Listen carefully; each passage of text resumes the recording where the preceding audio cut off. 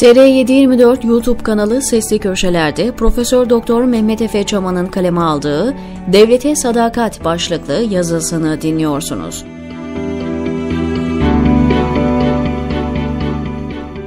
Devlete sadık olmak zorunda mıyız? Devleti sevmek zorunda mıyız? Devlete inanmak zorunda mıyız? Devleti kimliğimizin bir parçası haline getirmek zorunda mıyız? Ben bu soruların şartsız yanıtlanmaması gerektiği kanısındayım. Hangi devlet diye sormadan bu sorulara kayıtsız şartsız bir evet yanıtı vermek yanlış. Vatandaş-devlet ilişkisinin 19. yüzyıl seviyelerinde olduğu bugünkü Türkiye Cumhuriyeti Devleti'ni 21. yüzyıla uygun formata getirmeden ben bu soruların tümüne hayır denmesi gerektiğine inanıyorum. Hatta bu sorulara evet demenin rasyonel olmadığını düşünüyorum. Bugün devletin öncelendiği, vatandaşın hak ve hukukunun, yaşam koşulları ve standartlarının, mutluluğunun, güvenliğinin, mal mülkünün devletin bekasından sonra gelen ayrıntılar olarak algılandığı bir düzen var. Bu düzenin devleti mitleştirilmiş, efsane haline getirilmiş, insanlara ön kabul olarak ezberletilen değerlerle cilalanmış, kof ve gereksiz bir kurum. Bu kurumun başındakiler kendi özel menfaatlerini bu mitleştirilen kof devlet üzerinden meşrulaştırma gayretinde.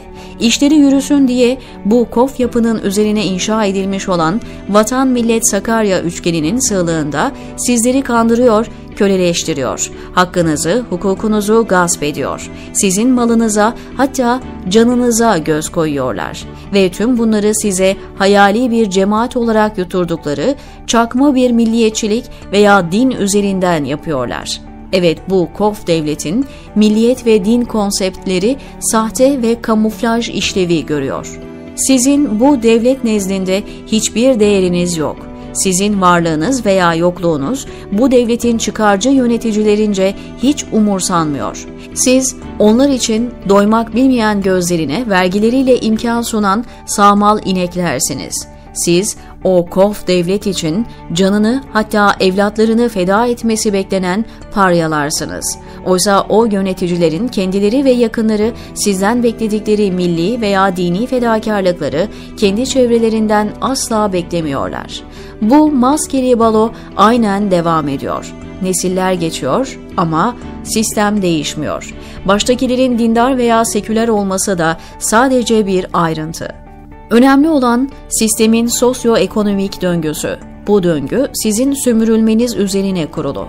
Sizin değersizliğiniz bu kof devletin ömrünü uzatıyor. Sizin kendinizi feda etmeniz onun değirmenine su taşıyor. Sizin fakirliğiniz onların zenginliğinden kaynaklanıyor. Sizin güvende olmamanız onların işledikleri suçlardan. Bu devletle ben kendimi özdeşleştiremiyorum. Onu benimseyemiyorum. Onu sevemiyorum. Ona tabi olamıyorum. Onu sineye çekemiyor, ona tahammül edemiyorum. Ona inanamıyorum. Onun yaptığı haksızlıkları ve hukuksuzlukları tolere edemiyorum. Bu devlete sadık olmak, ona suç ortağı olmak demek değil mi? Bu devleti tolere etmek, bu olanların baki kalmasına destek vermek değil mi? Bu düzene itiraz etmemek, o düzeni var etmek, onu yeniden üretmek, onu konsolide etmek değil mi?'' Bu devlet Suriye'de kirli bir savaşa girerken herkes hala şehit edebiyatı yapıyor. Bu devletin milli takımlarını destekliyor. Bu devletin milli günlerinde birbirine sahte mesajlar atıyor. Bu devletin sanki matah bir şeymiş gibi tarihini savunuyor. Bunu yapmazsa kimliğini kaybedeceğini sanan insanlarla bu devletin ömrü arasında bir korelasyon, bağlantı kurmayalım mı? Hep nabza göre şerbet verelim, doğruları konuşmayalım mı? Lider kültünün Atatürk'ten Erdoğan'a bu devletin ömrünü uzattığını söylemeyelim mi? Ulusalcılıkla İslamcılığın bu mitleştirilen devlette birleştiğini görmezden mi gelelim? Sırf ana dilimiz Türkçe diye bu devletin Türk olmayanlara ettiği zulmü konuşmayalım mı? Ermenilerin, Rumların, Süryani ve Yahudilerin, Alevilerin, Kürtlerin, Boşnakların ve Romanların, Kafkas halklarının, Yörüklerin, Arapların adlarını bile anmayan bu faşist imparatorluğun ulus kimliği dayatmasını deşifre etmeyelim mi? Müslümanlık diye İslamcılığın kakalandığı politikaları eleştirmeyelim mi? Tüm bunların temelinde kutsal bir devlet miti olduğu gerçeğini ortaya koymayalım mı? Hep bu devlete sadık olmak için yalan yanlış konuşup olmadığı başımızı kuma gömüp bir şey olmuyormuş gibi mi yapalım? Bir put mu? Bu devlet bize hizmetle yükümlü bir kurum değil de bizim ona kölelik etmemiz gereken bir sultanlık mı?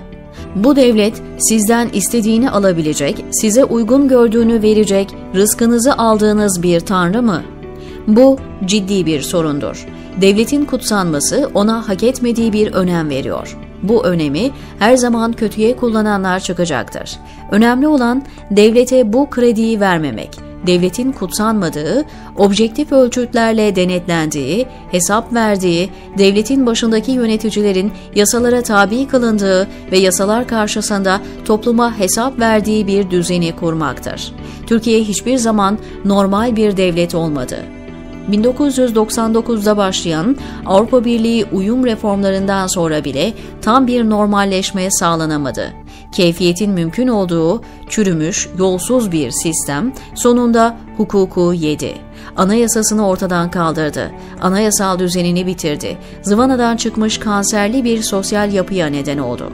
Bundan da önemlisi kültürel olarak yukarıda özelliklerini saydığım ve eleştirdiğim devleti normal adetmeye programlı, beyni yıkanmış toplum bu sakat devleti, bu kof devleti, bu ceberrut devleti hep el üstünde tutmaya devam etti hala bunca yaşanmışlığa karşın bu devletin mahkemelerine güvenen, hukuk gereğini yapacak diyebilen çok ciddi bir çoğunluk var.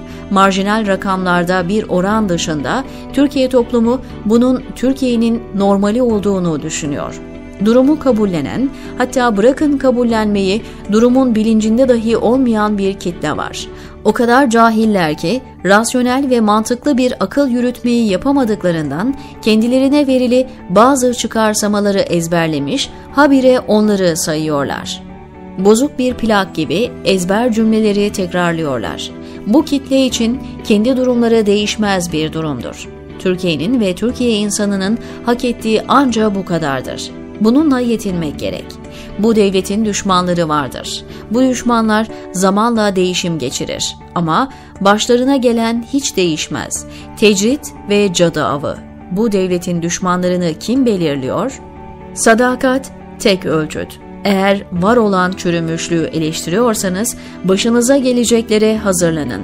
Devlet düşmanı ve vatan haini ilan edilmeniz an meselesidir ordu gibi, polis gibi, Erdoğan gibi bu devlete mal edilen veya devletleşen ne varsa bunlarla anlaşmazlığa düşmek yok olmaktır. Olan budur. Yerleşik düzenin değişimi bu koşullarda olanaklı olabilir mi? Sistemi içeriden dönüştürmek, onu şeffaf ve demokratik hale getirmek, hukuk devletinin birinci koşuluyken bu ortamda bu nasıl başarılacak? Yasaları değiştirmekten daha önemlisi o değişen yasalara uymak, onları uygulamaktır. Zihniyet dönüşümüdür. Bunun en başta gelen koşulu devletin kutsallığını bitirmektir. Onun büyüsünü bozmaktır. Putu kırmak, onu nesneleştirmek, onu rasyonelize etmektir. İnsanı, bireyi, adaleti temele koymak ancak bundan sonra olabilir. Devlet tanrı iken yenilmez. Devletin tanrı olmadığını görmek bunun için önemlidir. Bu devlete sadık olmak, o tanrıya kul olmaktır. Sadıkken onu değiştiremezsin. Çünkü o senin tanrındır. Sen ona uyum göstermelisin. Mit budur. Devlet kurgusundan bu ilkelliği çekip almak, onu akılla terbiye etmek ve dünyevileştirmek, onu hükmeden olmaktan hizmet haline dönüştürmek gerekiyor.'' Bunu yapmadan o devleti benimsemek, onunla özdeşleşmek, onu kutsal adetmek, ona sadık olmak, ona hizmet etmek ancak adaletsizliği ve acıları yeniden üretir. Onu sürekli kılar, onu güçlendirir. Bu devlete sadık olmak zorunda mıyız? Bu devleti sevmek zorunda mıyız? Bu devlete inanmak zorunda mıyız? Bu devleti kimliğimizin bir parçası haline getirmek zorunda mıyız? Ben bu sorulara hayır diyorum. Siz, diyor Mehmet Efe Çoman, TR724'deki köşesinde.